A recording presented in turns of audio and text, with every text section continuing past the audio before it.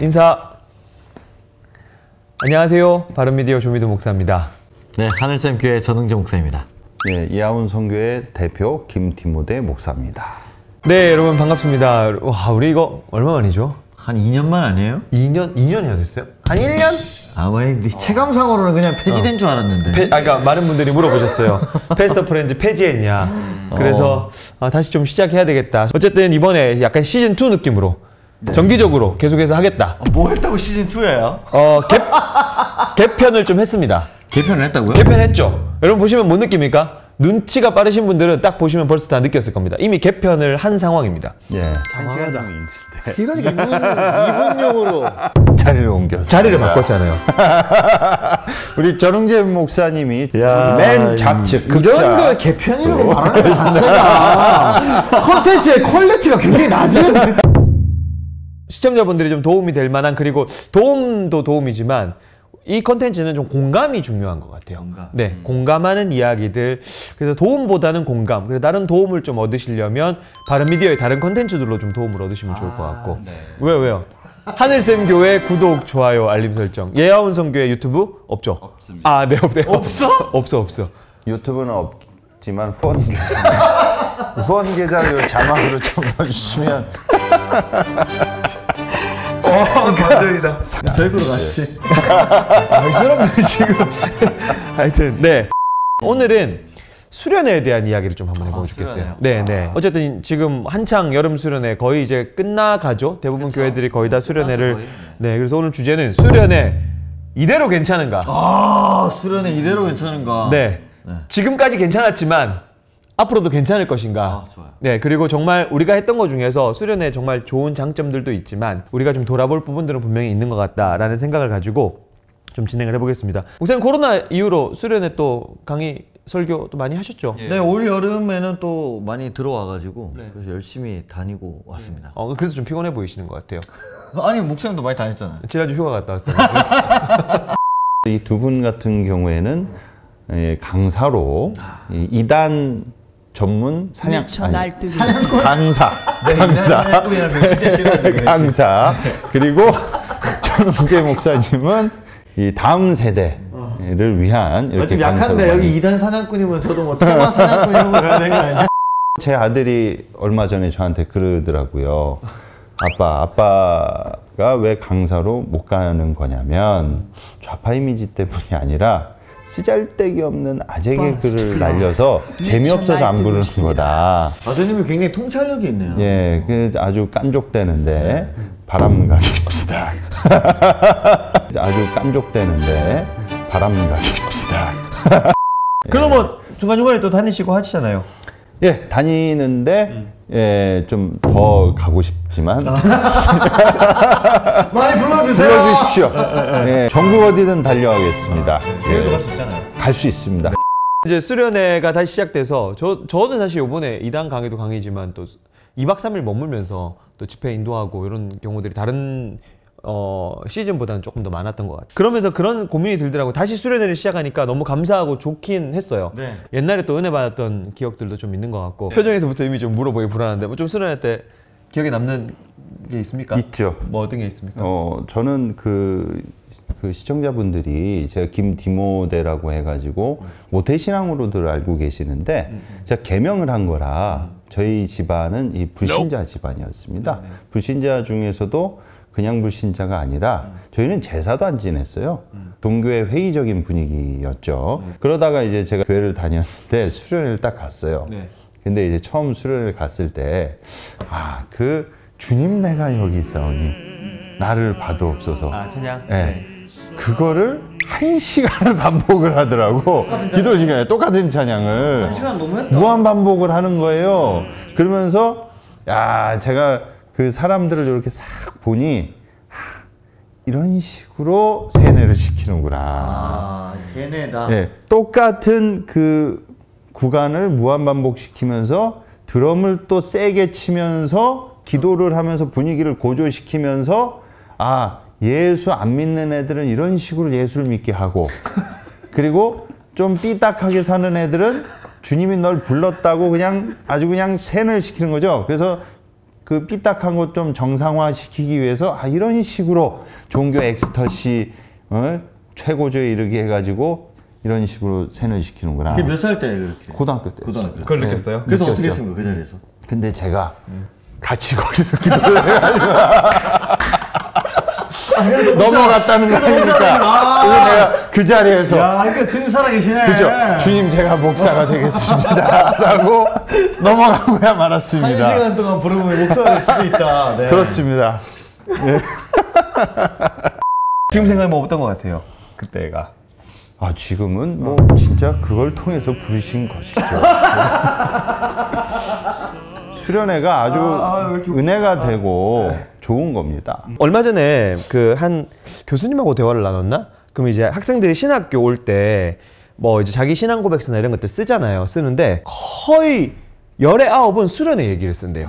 그러니까 수련회가 그만큼 이제 목사님이 얘기했던 그런 여러 가지 부분들이 있는 것 같은데 그 기간 동안에 집중적으로 또 집중해서 또 어, 기도도 할 수 있고 또 찬양도 할 수 있고 말씀도 집중해서 듣고 동시에 또 2박 3일 동안 3박 4일 동안 또 친구들과 교제할 수 있는 어, 그런 시간인 것 같은데 수련회 계속 해야 되는 건 맞는 거죠, 목사님? 그럼요 해야죠. 네. 있어야 된다고 생각합니다. 어떤 순기능들이 좀 있는 것 같습니까, 수련회? 아 말씀하신 대로 요번에 이제 하다 보니까 네.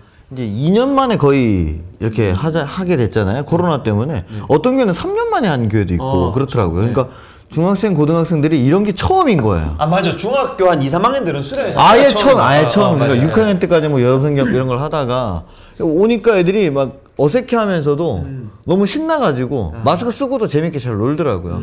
어쨌든 기도하고 말씀 시간은 굉장히 어려웠지만은 그런 것 자체로 교사들이 막 감격해서 눈물을 흘리고 어, 또 아이들을 그렇게 붙잡고 울면서 기도해주고 또 아이들도 열심히 좀 뛰고 찬양하고 이런 모습 보면서 아 확실히 수련회라는 게 교회에는 필요하다. 뭐 어떤 조직이든지 MT나 reunion, retreat 이런 것들 다 다니니까 그래서 사람들이 모이고 특히 교회만이 줄 수 있는 메리트나 특권이 뭐냐. 그게 저는 수련회라 생각하거든요. 어. 특히 청소년 때는 왜냐면 학교에서도 뭐 이렇게 체험학습이나 단체 활동을 가지만 뭐 가도 애들끼리 그냥 삼삼오오 모여서 그냥 지들끼리 흩어져 있다가 오면 그만이에요. 그냥 단체가 안 되는 거죠. 근데 여기서는 뭐 고3 형들부터 중1까지 또 선생님들까지 청년들까지 다 한데 어우러져서 밥 먹고 뭐 레크레이션 하고 게임하고 예배 드리고 하니까 이게 굉장히 교회만이 줄 수 있는 어떤 가족적인 분위기 그런 것들이 굉장히 저는 좋다고 생각합니다.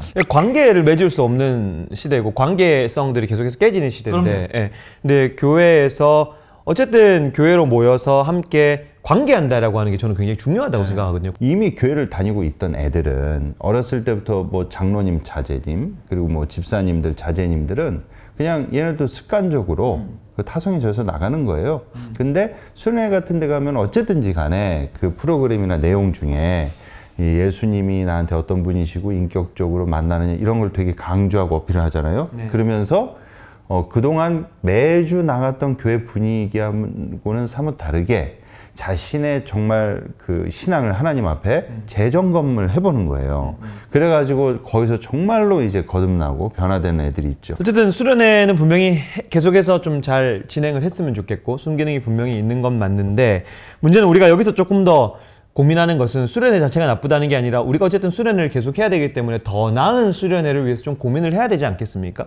요즘에 수련회에서 아쉬운 부분들은 분명히 있는 것 같아요. 네, 여러 가지가 있는 것 같은데 어, 목사님 뭐 개인적으로 네. 많이 다니시면서 네, 네. 아 이런 부분들이 좀 아쉽다 이렇게 좀 느끼시는 부분들이 있으세요? 저도 이제 강사로 뛰고 있지만 네, 네. 강사에 대한 부분입니다. 강사에 대한 부분. 네. 이게 뭐냐면은 특히 청소년 집회나 청년 집회 같은 경우에는 어느 정도 이름 있는 분들은 한정돼 있어요. 청년부 수련회 누구 강사로 스피커 누구 부를 거냐 그러면 누구 누구 누구 그럼 청소년 누구냐 그럼 뭐 감리교 쪽 장로교 쪽 뭐뭐 초교파 쪽이 쭉 뚫어 있거든요. 근데 똑같은 분이 계속 거론이 되는 거예요. 아 그것도 한 10년, 20년째. 그쵸. 그리고 사실 이제 저도 나이가 40을 넘어섰기 때문에 그렇게 안 보이시겠지만은 할렐루야. 청소년들을 대하는데 굉장히 계속 계속 노력을 하고 있거든요. 아이들의 마음을 열고 요즘 트렌드를 읽고 요즘 아이들이 보는 짤이나 이런 것도 열심히 보면서 연구를 하고 가야 되는데 저도 힘든데 저보다 10년 이상 많은 선배님들도 지금 현역에서 계속 활동하신단 말이죠. 그분들이 나쁘다 폄하하는 게 아니라 그러니까 저도 제 밑에 그러면 30대나 약간 조금 더 젊은 층에서 청소년 집회 주자들이 이렇게 좀 강사들이 좀 더 많이 발굴되고 더 많이 좀 다양한 복음을 전할 수 있는 강사들이 좀 많아져야 된다 생각하는데 너무 없는 거예요. 근데 이제 어 계속 불러주니까 어쩔 수 없이 이제 계속 간다 이렇게 이렇게 얘기를 하시는 건데 불러주면 딴 사람 보내면 되잖아요. 소개해서. 근데, 근데 그게 좀 또 쉽지가 않더라고요. 쉽진 않은 건 알아요. 네. 어. 왜냐면은 뭐 예를 들어서 저한테 누가 어, 수- 섭외를 부탁을 했는데 제가 일정이 안 맞아요. 그럼 제가 이제 다른 분을 소개를 해야 되잖아요. 근데 그것도 제가 보고 제가 들었고 검증할 수 있는 사람을 보내야 문제가 안 생깁니다. 그렇죠. 예. 네. 그래서 나- 저는 안타까운 게 그거예요. 사람을 키우는 작업을 하지 않는다라는 거예요. 그냥 그 자리에 딱 꿰차고 앉아가지고 10년, 20년, 30년 쫙 하면서 자기 밑에 후배를 좀 키울 수 있는 하다못해 가- 다니면서 데리고 다닐 수 있잖아요. 데리고 다니면서 그좀 보게 하고 또 세워주기도 하고 실험적으로 이렇게 세우라는 얘기가 아니라 훈련을 시키고 연습을 시키면 되거든요. 근데 사람을 안 키운다는 느낌이 너무 강하게 드는 거예요, 저는. 거기에 대해서는 좀 어떻게 생각하세요? 저는 그 강사 문제에 대해서 얘기를 하자면 전문성입니다. 네. 내 이 전문성 얘기 나오니까 내 좀 삐지고 섭섭한 게 좀 많습니다. 이 캠프 관계자들과 또 삐졌어? 네, 뭐냐? 자, 제 실제 실화만 얘기합니다. 저는 저희 예아문 선교회에서 그 예수님 이모티콘을 제작을 했습니다. 샬롬 스토리라고 그거 얼마나 고생했는지 몰라요. 그거 내다 그렸다고 제가 만들었다고 하니까 안 믿는 분들 원작자입니다, 원작자. 예, 원작자입니다. 그 아래 보시면 김디 모델하고 떠요. 그래서 저희 야운 선교에서 문화사역 프로젝트로 이걸 기획해서 했습니다. 왜 했느냐? 이 SNS의 영역도 하나님 나라의 영역으로서 우리가 선한 영향력, 그 기독교적 그 문화를 꽃피워야 된다. 그래서 첫 바다로 이걸 뚫자. 그래서 정말로 산전수전 뭐 고군분투해가지고 카톡을 이제 런칭을 했어요. 자, 근데 교회에서 이제 문화사역 같은 그 어떤 세미나나 강좌를 하는데 강사 섭외를 하는데 제가 이름에 올랐다 계속 이 빠꾸 먹는 겁니다. 벤치를 먹는 거예요. 왜요? 흐르게 말입니다. 전문성이 없다고? 전문성이 문제인데 자 왜 제가 전문성 얘기를 하냐면 제가 이제 벤치를 먹었죠. 그런 다음에 저 대신 간 사람들이 뭐라고 강의를 하는지 제가 그래서 한번 들여다 봤어요. 사진을 찍어라. 풍경 예쁜 걸. 거기다가 자막으로 성경 구절을 넣어라. 그런 다음에 그 성경 구절 넣은 사진을 아침 정해진 시간마다 카톡으로 돌려라. 이게 SNS를 통한 기독교 문화 사역이다. 이따위 강의를 하고 있어. 그래놓고 이게 무슨 문화사역이야. 그건, 그런 거 안 가르쳐줘도 누구나 할 수 있지. 개- 아니, 진짜 까놓고 말해봅시다. 예수님 이모티콘을 이거 만들어가지고 카톡에 런칭해서 입점한 게 기독교 문화사역입니까? 아니면 사진 찍어가지고 성경 구절 넣어서 카톡으로 돌리는 게 무- 문화사역이냐고. 그래서 제가 좀 짜증이 좀 많이 났습니다. 그래서 전문성이라고 하니까 생각나는데 여기 또 역사하고 중독 쪽으로 또 아, 그 잘합니다. 예. 네. 오랫동안 그쪽 활동을 하셨기 때문에 그럼요. 네. 역사, 중독, 그죠? 예. 그래서 한번 좀 고민해 보시고 색깔이 비슷한 교회들은 좀 같이 부르셨으면 좋겠다. 그런 생각이 좀 드는데 전국 어디든 달려가겠습니다. 예. 수 있잖아요. 갈 수 있습니다. 저는 그런 생각이 들어요.